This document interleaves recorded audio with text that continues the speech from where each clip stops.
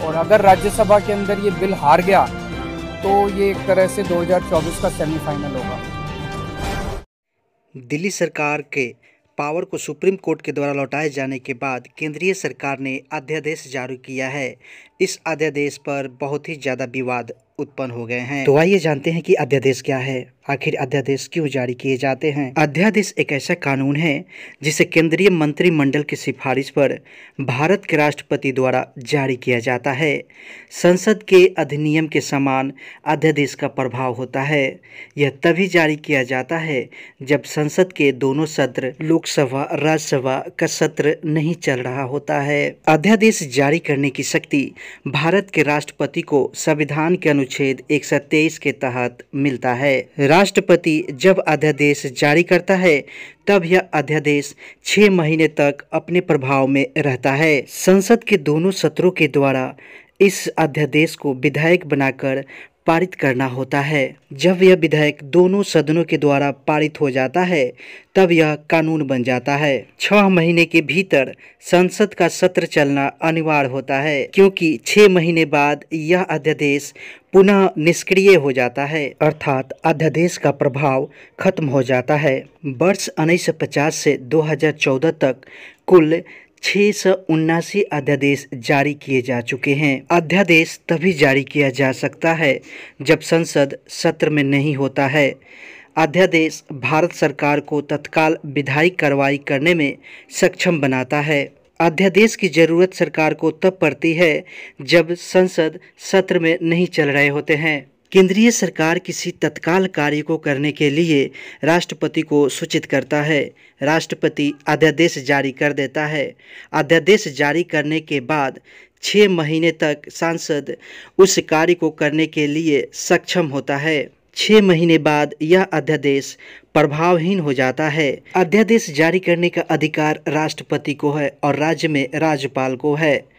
अध्यादेश किसी भी विधायक को पारित करने का अस्थायी तरीका है। राष्ट्रपति द्वारा सरकार के कहने पर भारतीय संविधान के अनुच्छेद 123 के अंतर्गत अध्यादेश जारी किया जा सकता है। संसद को इस अध्यादेश को पारित करने का अधिकतम समय छह महीने और छह सप्ताह तक मिलता है। इस अवधि के बीच अध्यादेश पारित हो जाना चाहिए, अन्यथा अध्यादेश प्रभावहीन हो जाएगा। राज्यों में राज्यपाल के पास अनुच्छेद दो सौ तेरह के तहत अध्यादेश पारित करने की शक्तियाँ हैं। दो सौ तेरह अनुच्छेद के तहत राज्यपाल के पास राष्ट्रपति की अनुमति के बिना अध्यादेश जारी करने की शक्तियाँ प्राप्त है। अध्यादेश को सुप्रीम कोर्ट के समक्ष इस आधार पर चुनौती दी जा सकती है कि अध्यादेश को लागू करने के लिए तत्काल कार्रवाई की आवश्यकता थी या नहीं, एक अध्यादेश को केवल तीन बार ही पुनः प्रख्यापित किया जा सकता है। अध्यादेश को संसद के दोनों सदनों के समक्ष रखा जाता है। संसद की बैठक से छह सप्ताह की समाप्ति पर अध्यादेश समाप्त हो जाता है। एक फ्रांसीसी कानून था, जिसमें ईसाई धर्म को तो मान्यता दी गई थी, लेकिन बौद्ध धर्म को गैर कानूनी घोषित किया गया था। इसे अध्यादेश दस के नाम से जाना जाता है। अगर सांसद अध्यादेश को अस्वीकार करती है तो यह समाप्त हो जाता है। यदि इसे अस्वीकृत नहीं किया जाता है तो यह स्वतः संसद की पुनः बैठक से छः सप्ताह की समाप्ति पर काम करना बंद कर देता है। यही कारण है कि अध्यादेश को एक अस्थायी उपाय माना जाता है। केंद्र और राज्य दोनों द्वारा बनाए गए कानून न्यायिक समीक्षा के अधीन होता है। सभी कानून, आदेश उपनियम, अध्यादेश और संवैधानिक संशोधन और अन्य सभी अधिसूचनाएँ न्यायिक समीक्षा के अधीन है। न्यायिक समीक्षा की शक्ति भारत के संविधान के अनुच्छेद तेरह तीन में शामिल है। अध्यादेश के ज़रिए नागरिकों के उनके मूल्य अधिकार नहीं छीने जा सकते हैं। अध्यादेश को संसद में छह सप्ताह के भीतर पारित करना होता है।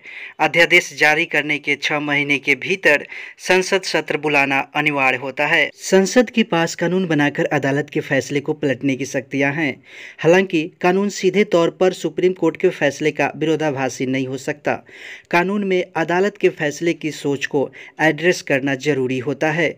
मतलब यह है कि फैसले फैसले के आधार को हटाता हुआ कानून पारित हो सकता है।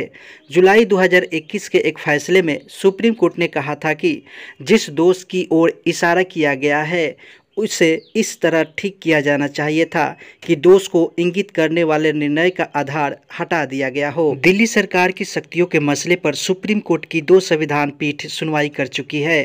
दोनों बार संविधान के अनुच्छेद दो ए की व्याख्या की गई है। उन्नीस सौ इक्यानवे में जब दो ए अस्तित्व में आया, तब संसद ने government of national capital territory of Delhi act उन्नीस सौ इक्यानवे भी पास किया।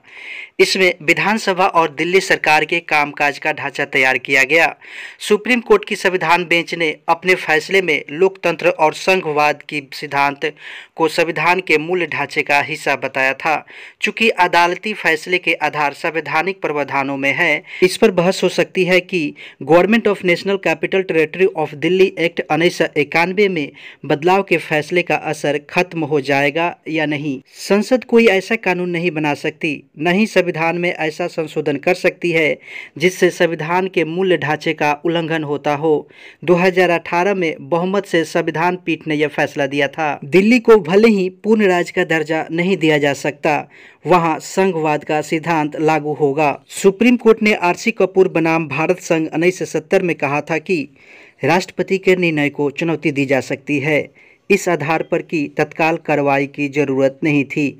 अध्यादेश को चुनौती दी जा सकती है। फिर भी C J I D Y Chandrachud को यह तय करना होगा कि मामले पर संविधान बेंच बनाए या नहीं। कुल मिलाकर दिल्ली में पावर की खींचातान अभी लंबी चलने वाली है। दिल्ली में अफसरों की तबादला, पोस्टिंग शक्ति प्रदर्शन का मोहरा बन गई है। हफ़्ते भर पहले सुप्रीम कोर्ट ने दिल्ली में पुलिस, कानून व्यवस्था और भूमि को छोड़कर अन्य सभी सेवाओं का नियंत्रण दिल्ली सरकार को सौंप दिया था।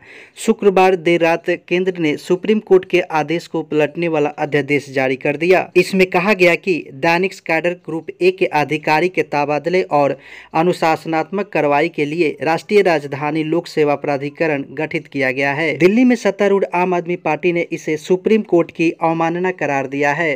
अन्य विपक्षी दलों के भी ऐसे ही बयान आए हैं। मामले में दिल्ली सरकार के वकील और कांग्रेस नेता अभिषेक मनु सिंधवी ने कहा कि नए अध्यादेश का गहन अध्ययन करना होगा, लेकिन स्पष्ट रूप से यह खराब, बेहद खराब और बेहयाई वाला कदम है।